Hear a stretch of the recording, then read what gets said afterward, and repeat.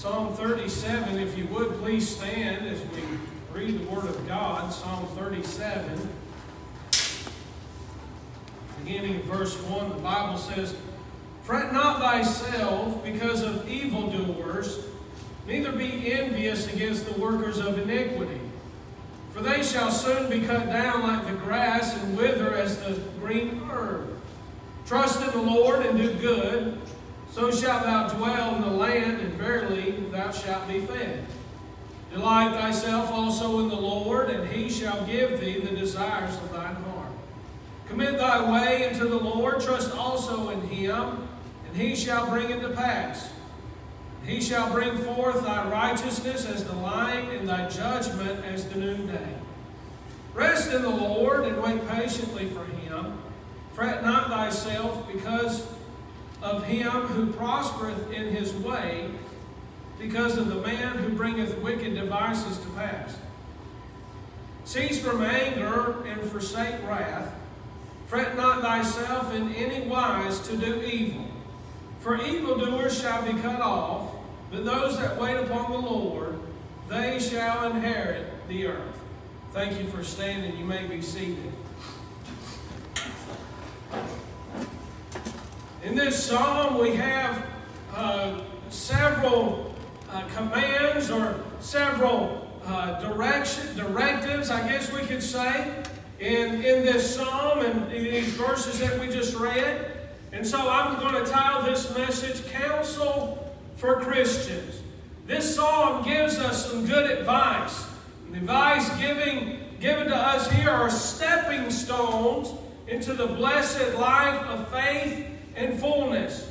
And so we'll cover part of these today, and then we'll pick up next week with the rest of them. But God gives us, you know, Psalm 37 is actually a very great psalm, very good psalm. I, my intention was to just preach on these first nine verses as I got to read them and uh, things, but I, I, may, I'm not sure yet, don't hold me to it. I, I may actually uh, take some time and go through this psalm. This is a great psalm, and I believe we can learn a lot from it. But today we're going to learn some counsel for Christians. Counsels for Christians. First of all, he tells us, the Bible tells us to fret not. Look in verse 1. Fret not thyself because of evildoers.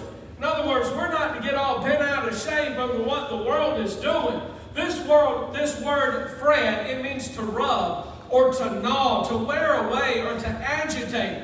You know, sometimes we do get agitated at the way the world does, at the things that the world does. And we wonder sometimes why the, uh, the wicked prosper so much in, in, the, in the wickedness that they do. And we get gnawed at it, man. It just rubs us raw. It bothers us. And you know, I, I believe it even bothered David. No doubt he felt this. You know, we can read in the Bible where uh, King David, well, before he was king, he had to run from Saul. And all David wanted to do was help Saul. In fact, I believe that David was probably Saul's most loyal uh, uh, servant. And, and uh, you know, it could probably uh, be argued that maybe Jonathan was, but David and Jonathan, they both were loyal to King Saul. And, and you know, Saul tried to kill him. And Saul was out for his life. And when, when God turned, uh, excuse me, when God turned Saul over and said, I'm done with you, and he raised up uh, David, Saul was after him. And, and, and you know, uh, David, he probably thought, God, all I'm doing is trying to live for you, and now I'm sitting here trying to trying to uh, uh, survive. But you know, not only that, as, as David was king, his son Absalom tried to overthrow him and to take his kingdom away. And, and no doubt David probably got agitated and, and angry at, the, at, at how somebody could just overthrow him when he's trying to do right. In fact, King David was the best king that Israel ever had. And so he might have been tempted to get agitated. He might have even thought, well, why are they prospering in their wickedness? Can you imagine what David must have felt in those times? He was trying to honor God, but others were against him. Now he has to run to stay alive. And so David, while he's thinking about their actions, I believe he begins to bring his thoughts into check. And he says, I'm not going to fret over what they're doing. These are workers of iniquity. I'm not going to let their thoughts and actions uh, affect my thoughts and actions toward God. And then he says in verse 1, he continues on, Neither be thou envious against the workers of iniquity. He's like, hey, listen, we don't, we don't have to wish we were them. That's right. That's right. We don't have to wish we were in their shoes. Listen, I know that there's men that we can look to and think, wow, wouldn't it be great to be them? Bill Gates and maybe Jeff Bezos and, and, and the list goes on and on. And, but the thing is, is, you know what? We have peace in our hearts. These men don't. Amen. And we don't have to be envious in the workers of iniquity. This word envious means uneasiness, discontentment in the sight of superior excellence. You see, what happens is, well, where does envy start? It starts with the eyes. When we see something that somebody else has, we begin to get envious of that. We want that. That's why I believe God said, Thou shalt not covet. Because we that we we get envious, we want that. And you know what that does? That makes us discontent with the blessings that God has given us. Amen. Listen, I'm human. I'm made out of the same stuff you're you're made out of. And the thing is, is there's been times in my life where I've been in the ministry and, and, and I see a preacher or a missionary. They get blessed in a certain way, and I think, God, I'm serving you too. I'm doing, I'm, I'm, I'm living in your service too. God, why don't you bless me? Excuse me. Why don't you bless me like you bless them? You see, what happens is when we look at other people and we're envious, we forget of the blessings that God has given us. Excuse me. And so, I, you know, it, I've been reminded by these verses Hey, God has blessed me just as much as He's blessed that other person. Amen. And you know what? God's not obligated to bless us all the same way. That's right. That's right. And I thank God for that. Because there's sometimes that God ministers to my need in a certain way that He doesn't do that for somebody else. But He does that for me. Amen. And listen, if we're not careful, we'll start getting agitated and, and rubbed the wrong way because we're fretting over something. And this song tells us we're God's children and we're not to fret over what we see in other places and things going on with other people. I read this quote, I want you to listen to it. I think it's good. Fretfulness and envy are sins that are their own punishments. They are the uneasiness of spirit and the rottenness of the bones. It is therefore in kindness to ourselves that we are warned against them. When we fret and when, when, when we envy, we're punishing our own selves for that sin. Because if, unless you get uh, unless you get content with God and what He's blessed you with, you'll live in misery the rest of your life until you get that out of your life. Amen. Proverbs 24, 19. it says, Fret not thyself because of evil men, neither be thou envious at the wicked. Now, Solomon wrote the book of Proverbs. David wrote this, uh, this psalm here. And so we see a father writing this, fret not, and then we see Solomon, his son, write the same thing. So you know what I think? I think when the Bible tells us something, we ought to pay attention to it. But when it tells us something more than once, I think we really ought to pay attention to it. Because I think we have a problem with fretting and envying. If you would, please turn over to Psalm 73. I want you to look at this.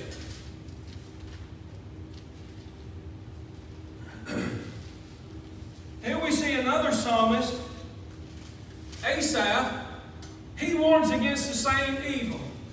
Now, I need you to bear with me. I'm actually going to read this entire song. Because Asaph talks about some things here that I think we need to look at. Now, he starts off and he says, Truly, God is good to Israel, even to such of a clean heart. Listen, if you got a clean heart, if you know Jesus Christ is your Savior, he said, God's good to you. All right? He's starting off with that verse. I believe he learned a lesson and then he wrote this song down so that he, it could remind him. But he's starting off on a good note, all right? But listen, but as for me, this is something that he learned before he wrote this song. Look at it. He said, But as for me, my feet were almost gone. My steps had well nigh slipped. For I was envious at the foolish. Didn't he? That, that's exactly opposite of what we just talked about, these commands. When I saw what? The prosperity of the wicked. This is a man who lived exactly what we're preaching against. All right, let's keep on going. Verse 4. For there are no bands in their death, but their strength is firm. They are not in trouble as other men, neither are they plagued like, the men, like other men. That means they, they, they didn't have troubles like other men. It seemed like, oh, they're just invincible almost. Look at verse 6. Therefore, pride compasseth them as about a chain. Uh, violence covereth them as a garment. Their eyes stand out with fatness. They have more than heart could wish. They are corrupt and speak wickedly concerning oppression. They speak loftily. They set their mouth against the heavens, and their tongue walketh through the earth. Therefore his people return hither, and waters of a full cup are wrung out to them. And they say, How doth God know? And is there knowledge in the Most High? So he said, Hey, these people, they're shaking their fist at God. They're blaspheming God. They're going through this earth and they're just living their own thing. And it seems like nothing is happening to them. Look in verse 12. Behold, these are the ungodly who prosper in the world. They increase in riches. Verily, I have cleansed my heart in vain. I have washed my hands in innocency. For all the day long have I been plagued and chastened every morning. If I say I will speak thus, behold, I should offend against the generation of thy children.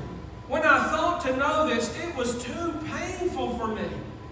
That means Asaph, he was looking, he was, man, he, it was, it was really bothering him. Excuse me, it was really bothering him. Why in the world were people prospering and they were blaspheming God? And he tried to figure it out. He tried to make sense of it. He says it was too painful. But look at verse 17. Till I went to the sanctuary of God. Then understood I therein. He said, Hey, I went to church and I heard preaching, and then I realized that, that their end is hell. My end is heaven. Amen. Amen. And that's it, man. Listen, that's it. We've got more in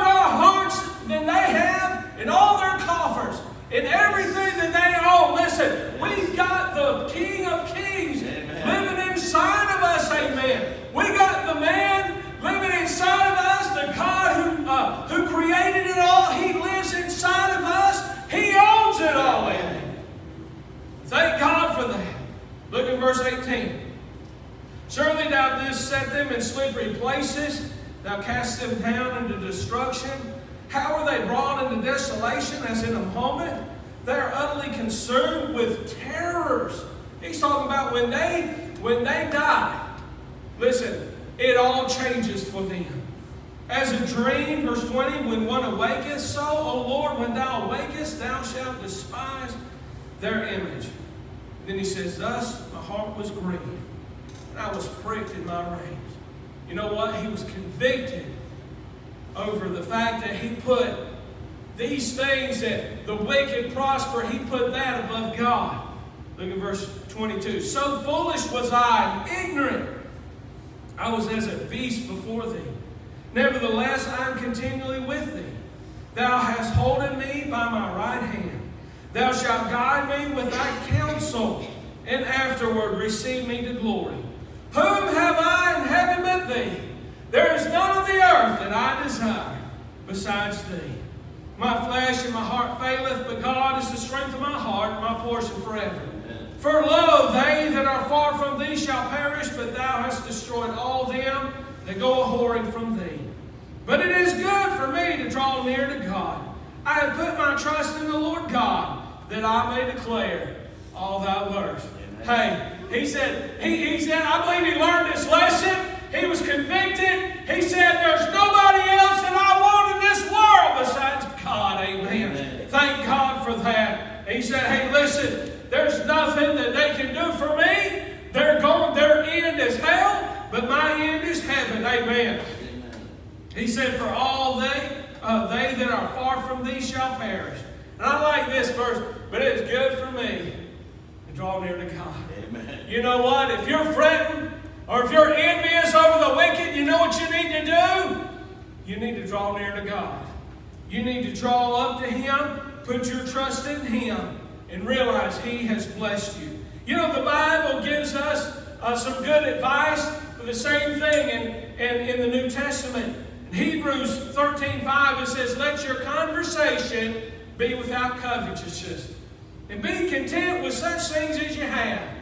For uh, he has said, I will never leave thee nor forsake thee.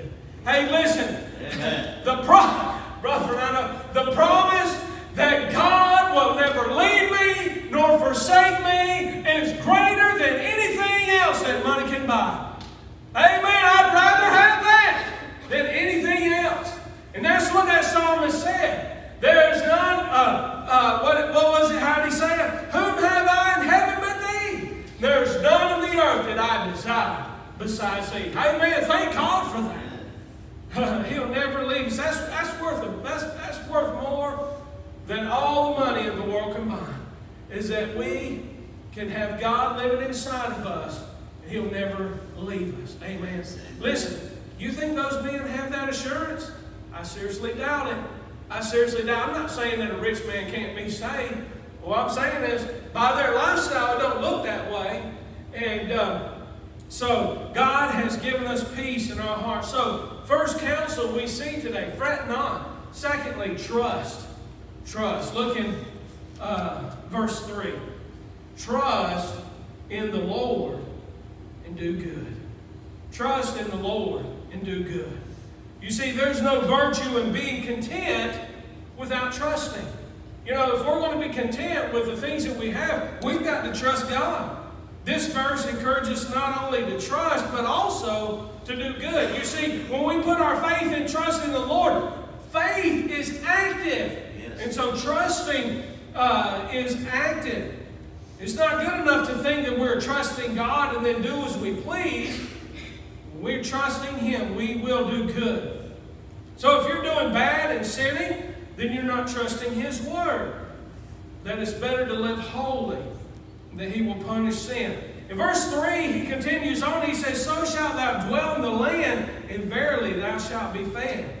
See, God has promised us that if we trust in Him, He'll take care of our needs. And David even continues to mention this promise over in verse 25. Look in verse uh, Psalm 37, 25. I have been young, and now I'm old, yet have I not seen the righteous forsaken, nor his seed begging bread. You see, David realized that God would take care of his need if he'll just trust in him. Amen. Psalm 118, verse 8. It is better to trust in the Lord than to put confidence in man. I like that. Hey, listen, uh, you brothers in Christ, I love you, and I'll trust and I trust you. But you know what? It's better to put a whole lot more trust in God than it is you. You know, listen, I'll do anything for you that I can. And I heard one preacher say, he was just joking around. He said, listen, he said, if you ever need anything, as long as it don't cost me my time or my money, I'll help you in any way I can. you know? Now listen, I'll do anything for you that I can. But you know what? I'm just a man. I may let you down. I don't want to. I'll do the, I'll do the best at pastoring as I can be. But you know what? I'll let you down sometimes.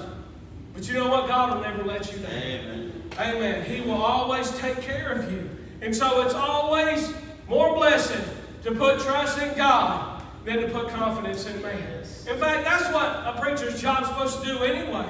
When, when people come to the preacher and they say, Preacher, what do you think about this? Or what do you think about this? You know what I try to do? I try to take this Bible and give them a principle from this Bible so they can put confidence in God and not say, Well, the, we don't do this because the preacher said not to. That, that's not my code, my friend. Listen, I try to teach you to live holy, live right, and you say, hey, we don't do this because God said not to. Amen? Because we're trying to put our faith and trust in Him. So, fret not, and then trust, and then last of all, we'll look at today is delight. Actually, yeah, delight. Uh, verse 4 Delight thyself also in the Lord, and He shall give thee the desires of thy heart. Now, we may question our trust if it doesn't lead to delight in the Lord. You see, these things build on one another. Don't fret because of what other people are doing. Trust in God. Yes. But when you completely trust in God, what does that do? That leads you to delight in Him. You see, if you have put your faith and trust in God, and He comes through for you, you know what? You can delight in Him with, with what He gives you. I remember, listen, I remember when I was in high school. Y'all forgive me for just a second. But I, I, I was in high school and I used to flirt with all the girls, man. I'd flirt with all the girls all the time. And I wanted a girlfriend back. I wanted a girlfriend back, and I did. All the other guys, they had girlfriends, and I wanted a girlfriend back. You know what? I could never get a girlfriend. I, I just couldn't. I mean, they would flirt with me and all that stuff, but I just couldn't even get anybody to you know, want to be my girlfriend. And that, that aggravated me. That did, that did. But you know what? As I grew as a Christian, I came to a place in my life where I said, God, in fact, I heard some preaching on the on, on this thing about dating and everything, and, and I finally just said, God, I'm just going to give this in your hands. I just want you to take it, and you just give me the wife you want me to have. Amen. And I went to my I went to my youth, uh, youth pastor and his wife, and I said, Would y'all help me find a wife? And I just left it in their hands. You know, every once in a while I'd see a girl, and, and, and I'd look at her and I'd say, No, she might be good. And I'd go to my youth pastor's wife. I said, What do you think about her? She'd say, Nope. you know what I did? I said, Okay. You know what? I left it up to God. I left it up to somebody who was wise to help me with that thing. And she said no, and I said fine. Because I gave this thing over to God, and God put these people in my life to help me and give me guidance and direction. And I just trusted God. This is what I'm saying. I trusted God. Amen. Well, one time they, they asked me, they said, What do you want in a wife? I said, Well, I said, I like tall women. And, uh, you know, I like redheaded girls. And, uh, and you know what? If I'm, if I'm going to be a pastor someday, I think it'd be a good thing if she played the piano. Tall, redheaded, and played the piano. That was my, that was my three things, man. I'll tell you what, only God could have done that. I remember the night I saw her, and I went to, I went to my youth pastor's wife, and uh, and, my pastor, and my youth pastor and his wife, they were kind of talking, looking at me, and I just walked over and I said, I said, you can talk to her if you want to. They said, oh, we already have. we already have. And, and, and so, man, the rest is history. But here's what I'm saying. I trusted God for what He wanted to do for my life, and now I'm delighted with the, with the result, amen. amen. So all you've got to do is just trust God. And then delight. man, listen, it's a delight to let God just do something in your life instead of fretting over it. Amen. I've done learned that fretting over stuff doesn't work. Yes. If you just rest content God and trust in Him, then you'll be delighted with the outcome. Amen. Thank God for that. Amen. Psalm 1, verses 1 and 2. Blessed is the man that walketh not, in the counsel of the ungodly, nor standeth in the uh, way of sinners, nor sitteth in the seat of the scornful. But his delight is in the law of the Lord, and in his law doth he meditate day and night. He said, This is a man that he, he says, I'm not going to uh, stay around sinners. He's going to stick to the things of God, and then he's going to be delighted in it. Listen, the only way we're going to be delighted in what God does for us is just uh, trust in Him and rest in His Word. But it says, uh, He shall give thee, he said, verse 4, Delight thyself also in the Lord, and He shall give thee the desires of thy heart. This does not mean, folks, that, it, that we're going to try to delight in the Lord and He'll give us whatever we want. That's not what that means. It means that what God does is He puts the desire in our heart and then He gives us those desires. You see, when I submitted myself to the Lord, He gave me the desire to preach. There was a time when I said, God, whatever you want with my life, I'm just going to trust you with my life. And you know what? He gave me the desire to preach. And then I begged God to let me preach. And you know what? He called me to preach, amen. amen. Thank God for that. He gave me the desire of my heart. Amen. And then as I continued to grow as a preacher, I remember a preacher stood up one time and he talked about how there was a need for churches in the western United States. And he said, hey, listen, he said, out here in the southern U.S., you can go to church anywhere to. If you want red hymn books, you can find a church with red hymn books, blue hymn books, green hymn books, whatever. You can find a church whatever you want. If you don't like red carpet, go to a church that's got green carpet. I mean, you know what I'm saying. We had the choice of churches like that. And that broke my heart. He said, out west, they don't have that. And that broke my heart. God burdened me to come out west and to start a church. And you know what? God put a desire in my heart to start a church. Now here I'm, I'm standing here preaching to a church. Amen. Thank God for that. He gave me the desire of my heart. He put it in my heart and then He gave it to me. And so He says, if you commit yourself to the Lord, excuse me, if you delight yourself in the Lord, He'll put the desire of your heart, and then He'll give you that desire. Amen. Amen. Man, listen. That's, that's high living for a Christian to do these things. Don't be worried about the world gives you or what you see in the world. Don't be worried about all that stuff. Trust in God. Amen. And then just delight in what He does in your life. Yes. Amen. Thank God. I about wore out. but I'll tell you this. God is good, amen. Yes, He is. And if you give Him your life, listen, let me just put it this way. God can do more with your life than you can. You give Him your life, you'll be more delighted by it than what you can do on your own. Let's bow our head and close our eyes. As we close, I, I want to give you a few, few more thoughts. I want you listen. I don't know if you noticed or not. But this counsel that we gave today, it's a matter of the heart. Don't fret. Trust in God. Delight in the Lord. These are all dealing with attitudes of our heart. And God wants us to pay attention to the attitude of our heart. And I want to ask you this.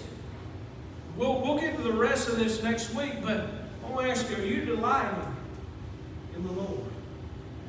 If you're not really delighting, it's probably because you're not trusting in God for what He wants you to do in your life or the things that you need. You know what? If you're not trusting in God, it's probably because you're fretting about things that you see in this world. God is telling us that we're not to fret, but we're to trust and to delight ourselves in Him. Are you doing that today? Father,